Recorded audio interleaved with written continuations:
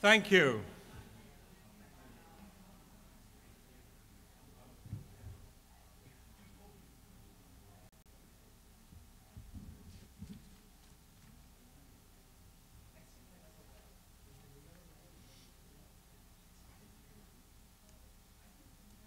We have eight groups and we have 24 minutes, three minutes per group. Yes. You have a question? Oh, thank you. Can you just wait one moment? Great. Thank you. Great to be off the mark. Excellent. We're going to go around each group, and if you reach the stage of drafting a joint action memo or something similar, we want you to do two things name your common ground and one action that you have agreed you could take together. So, what's your common ground for the action you could take together on the problem you've already named in your sketch? And we have our first.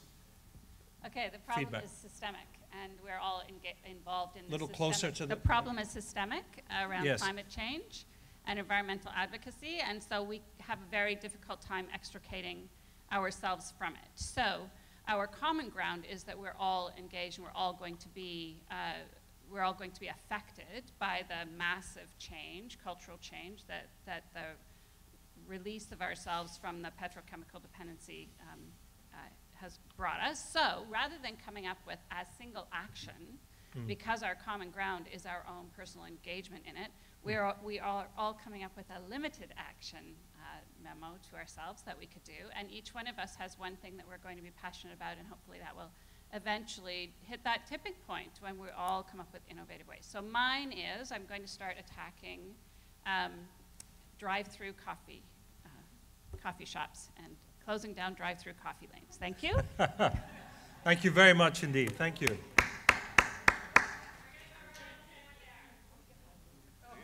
Well, we've got time for one or two, yes. We've got eight groups to go. Another, another limited personal action memo. Uh, local recycling. local recycling, ending drive-through coffee shops. When a municipal entity cuts down a tree, they should replace it with one or two more, always. Put, make an ordinance. Great, this is great. Okay, thank you very much for, from the, the environmental group. I'm going to look for volunteers now. If you'd like to put up your hand, if you're the note taker. This group on. Yes, can you? You're ready to go? Yeah, uh, just checking what I'm supposed to do. Great. Uh, got it. So, So- name your common ground and name an action. Just one action? Just one. Okay. Um, so our common ground is that children should be wanted and therefore abortions should be accessible. And um, our, our action is uh, to increase slash improve slash spread comprehensive medically accurate sexual education. Thank you very much. Thank you. I have. Okay, this group was on religion and state. Someone going to report back. Thank you. So your common ground first, and then the action you could take. Uh, the common, the common ground uh, uh, is to protect the religious liberty of our children. Okay, and the, uh, the, we stated the problem as being not enough separation of religion and Yeah. government. And um, we have two actions to take. Uh, one is to change the state constitutions um, to make them consistent with the federal government constitution, which says no religious tests.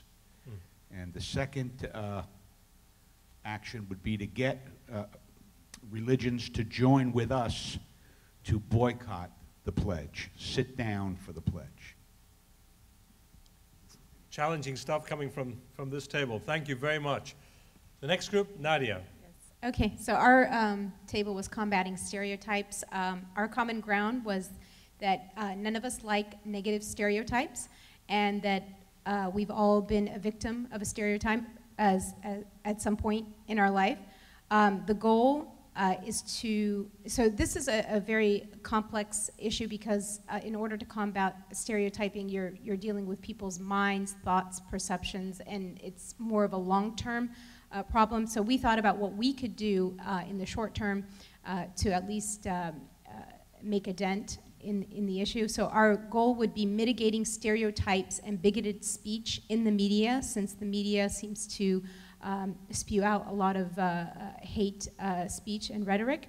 Um, what we can do as a group collectively is um, share and talk to our, number one, we, we agreed that we were going to share and talk to our respective communities about this conference and what we learned here.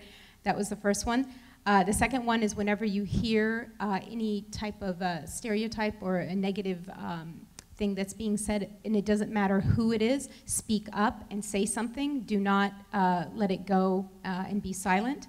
Uh, the next thing we said we can do is write in and call in to the media networks whenever, we, when you, whenever you hear hate speech or something bigoted. Um, because if we can flood their emails, their phones, eventually, when they know that their listeners don't want to hear this, eventually the idea is that they'll stop. Uh, we can create resources for education and, and try to put it out there either on the web or um, try to somehow get it into the school uh, system, but that's very difficult. And then the last thing we said was further dialogue between the religious community and the secular community. Thank you. Thank you very much. The next group who would like to report back, if you've reached that stage. This table, Lisa, thank you.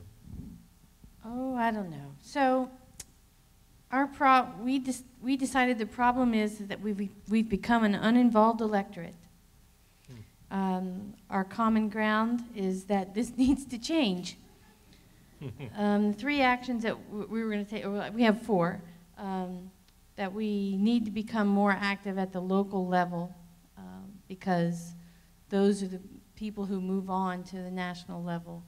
Um, we need to engage the younger generation because um, basically we think um, the younger generation is going to solve this problem of atheists running for public office and religion's influence uh, on elections.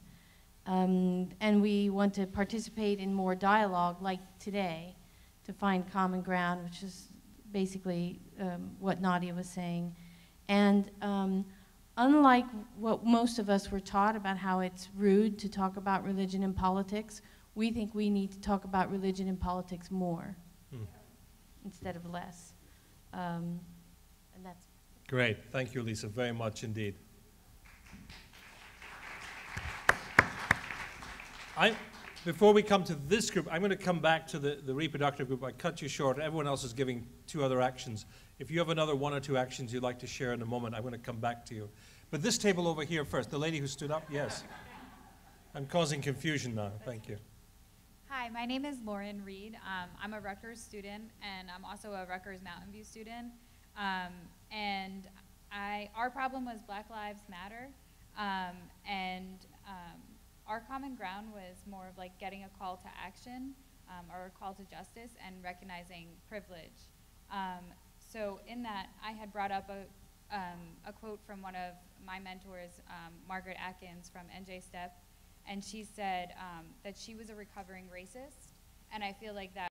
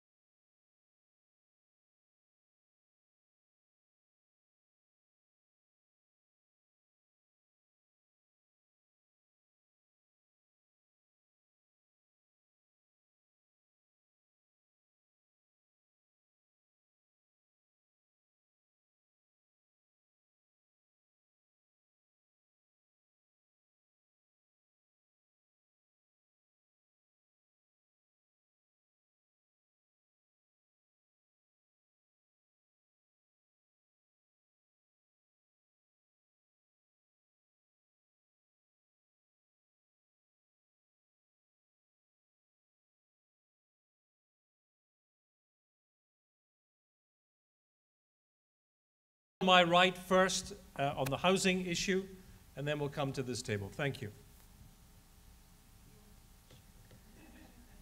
Okay, what we decided was our common ground is that housing is a human right, that everybody should have um, decent, safe, um, and affordable housing, and that this is, um, that churches in particular, or faith-based organizations in particular, need to have a greater vision of instead of just stopgap uh, actions, um, for example, having food pantries, uh, to try to get to the systemic problem of why people are dealing with hunger issues.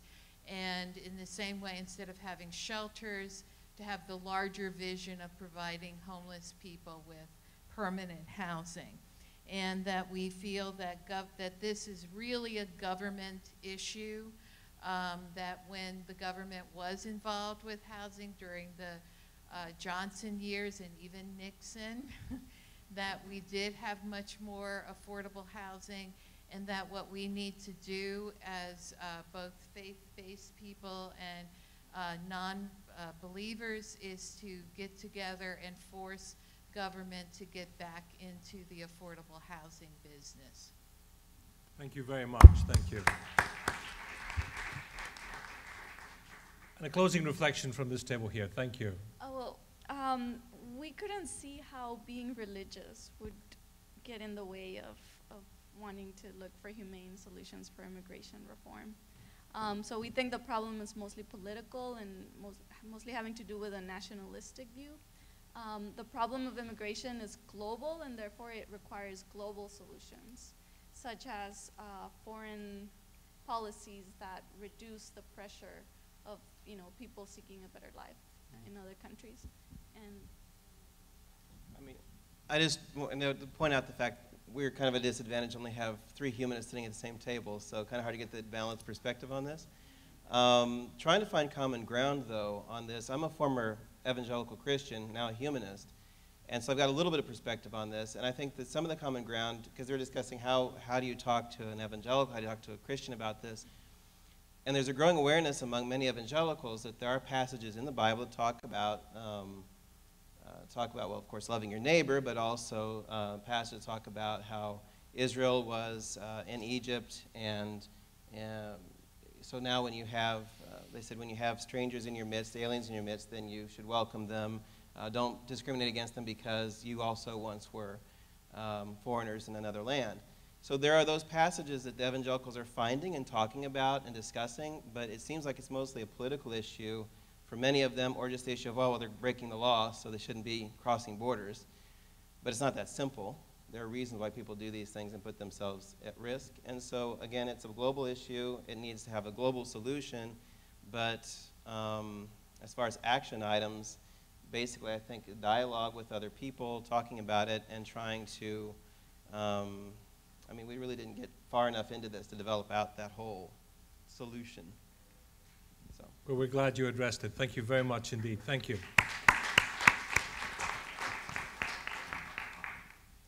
We've ranged over a remarkable number of uh, pressing local, national, and global issues uh, this afternoon.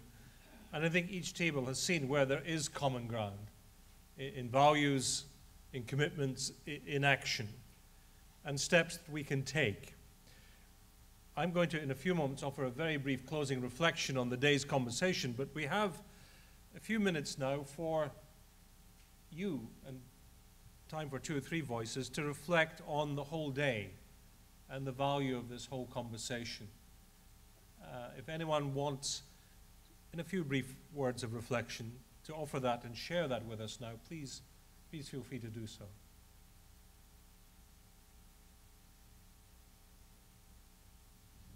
Yes, please, gentleman at the back.